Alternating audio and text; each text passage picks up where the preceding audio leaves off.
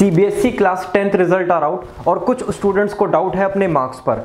उनका जो एक्सपेक्टेशन था और रियलिटी है, उसमें काफ़ी डिफरेंस है। तो अगर आपको रीचेकिंग वेरिफिकेशन आंसर बुक और री इवेल्युएशन रिलेटेड एक इन डेप्थ इंफॉर्मेशन चाहिए तो ये वीडियो आपके लिए है।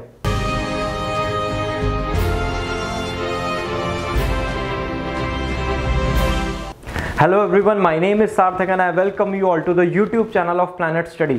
CBSE class 10th evaluation system को थ्री पार्ट्स में डिवाइड किया गया है. Verification of marks photocopy of answer sheet and re evaluation तो चलते हैं ना part number one that is verification of marks यहाँ पर आपके दो टाइप्स के एरर चेक किए जाएँगे totalling error and copy rechecking error totalling error में ये चेक किया जाता है कि कोई टोटलिंग मिस्टेक तो आपकी कॉपी में नहीं है। अगर है तो उसको एड्रेस किया जाता है और कॉपी रीचेकिंग एरर का मतलब कोई क्वेश्चन ऐसा तो नहीं है कि टीचर ने टिक लगा दिया और वहाँ पर मार्क्स अलॉट करना वो भूल गए गलती से। तो वहाँ पर आपको मार्क्स अलॉट होंगे और वापस से आपका टोटलिंग किया जाएगा। प्रोसेसिंग चार्जेस हैं रुपीज़ 500 पर सब्जेक्ट तो आपको जितने सब्जेक्ट्स का वेरिफिकेशन कराना है, उतने सब्जेक्ट्स की आप फ़ीस डिपॉजिट कीजिए और अपने वेरिफिकेशन प्रोसेस को स्टार्ट कीजिए। आपको आपके पर्सनल लॉग इन अकाउंट पर वेरिफिकेशन रिज़ल्ट मिल जाएगा और अगर आपके मार्क्स इंक्रीज हो जाते हैं तो सीबीएसई e की तरफ़ से एक ऑफिशियल लेटर भी आपके घर पे आएगा। अब अगर आपके दिमाग में एक टेंशन है कि नहीं सार्थक वेरिफिकेशन के रिज़ल्ट से मैं सेटिस्फाइड नहीं हूँ, मेरे और ज़्यादा मार्क्स इंक्रीज होने चाहिए थे तो हम चलते हैं ना part number two that is photocopy of answer sheet अब आप फोटोकॉपी के लिए तभी अप्लाई कर सकते हैं जब आपने वेरिफिकेशन के लिए अप्लाई किया हो। एक स्टेप बाय स्टेप प्रोसेस है जो आपको फॉलो करना पड़ेगा। पहले वेरिफिकेशन उसके बाद फोटोकॉपी आंसर शीट की फोटोकॉपी मंगाने के चार्जेस हैं रुपीज़ 500 पर सब्जेक्ट एग्जामिनर की आइडेंटिटी छुपाकर आपको आपके आंसर बुक आपके लॉगिन अकाउंट में रिसीव होगी। अब आपके पास आपकी आंसर बुक आ गई और सीबीएसई e की तरफ़ से एक मार्किंग स्कीम भी आपको अलॉट हुई होगी। आप साइड बाय साइड दोनों चीज़ों को रखिए और क्वेश्चन बाय क्वेश्चन आप चेक कीजिए मार्किंग स्कीम के अकॉर्डिंग आपको मार्क्स मिले या नहीं। आप ध्यान से हर क्वेश्चन को चेक कीजिए और कोई क्वेश्चन ऐसा निकलता है कि इसमें मुझे मार्किंग स्कीम के अकॉर्डिंग मार्क्स नहीं मिले। आप उस सब्जेक्ट के कंसर्न टीचर के पास जाइए और उनसे फिर रिकन्फर्म कीजिए। क्रॉस चेक कीजिए और जब आप 100 परसेंट कंफर्म हो जाएँ, उसके बाद हम चलेंगे process number three that is re evaluation again जिन बच्चों ने फोटोकॉपी के लिए अप्लाई किया है वही बच्चे री इवेल्युएशन के लिए अप्लाई कर सकते हैं।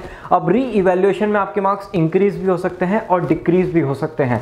और जो मार्क्स री इवेल्युएशन के आएँगे वो ही फाइनल है। आप चैलेंज नहीं कर सकते सीबीएसई e को कि मेरे मार्क्स री इवेल्युएशन के दोबारा से चेक करो। सो so, प्लीज़ अपने टीचर के साथ बार बार रिकन्फर्म करें तभी आप री इवेल्युएशन के लिए अप्लाई करें। री इवेल्युएशन के चार्जेस हैं rupees hundred per question student को एक शीट मिलेगी, वहाँ पे उसको विद रीजन बताना पड़ेगा कि मैं क्यों इस पर्टिकुलर क्वेश्चन का री इवेल्युएशन करा रहा हूँ।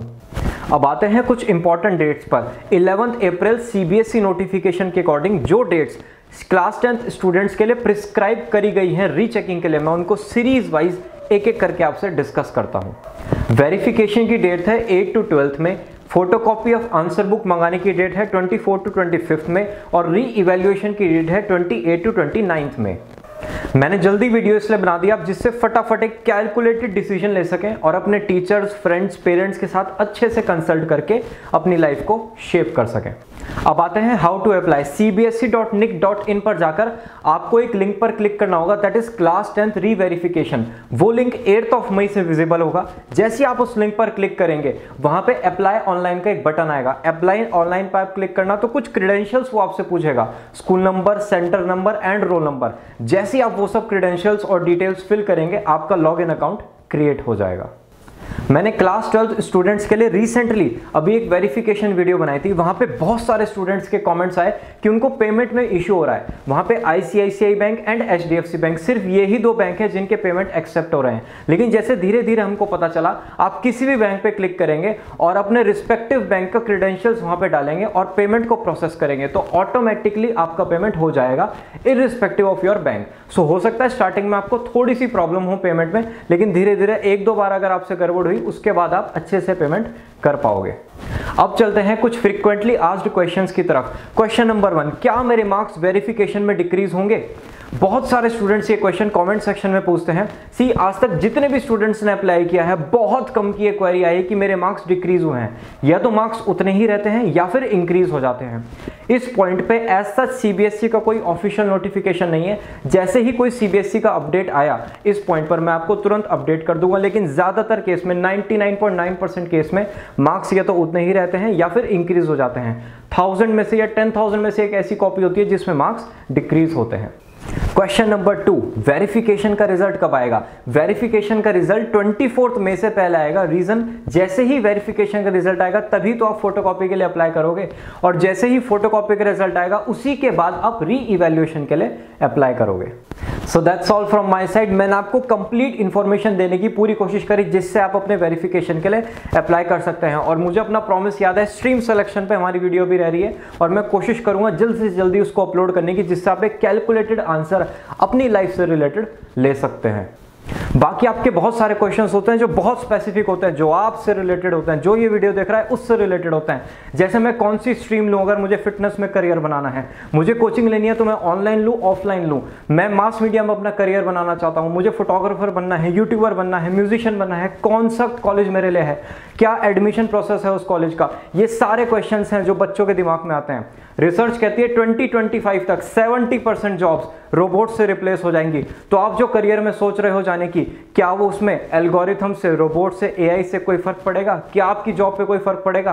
क्या आपके कॉलेज पे कोई फ़र्क पड़ेगा? सो so ये बहुत सारे क्वेश्चंस हैं जो बहुत स्पेसिफिक हैं। इन सब क्वेश्चंस के लिए मैंने एक सॉल्यूशन आप सबके लिए ढूंढा है। आप अभी वीडियो के डिस्क्रिप्शन में जाएँ, वहाँ पे मेरा व्हाट्सएप लिंक है। जैसे ही आप उस लिंक पर क्लिक करेंगे, मेरा व्हाट्सएप ऑटोमेटिकली आपके मोबाइल फ़ोन में ओपन हो जाएगा। वहाँ पे आप अपनी जितनी भी करियर रिलेटेड क्वेरीज हैं, उनको मेरे को सेंड करिए और मैं अपनी पूरी काउंसलिंग टीम के साथ जल्दी से जल्दी कोशिश करूँगा उन डाउट्स को सॉल्व करने की। उससे आपका करियर एक प्रोएक्टिव बेसिस पे शेप होना स्टार्ट हो जाएगा। तो मिलते हैं ना व्हाट्सएप पर। बाय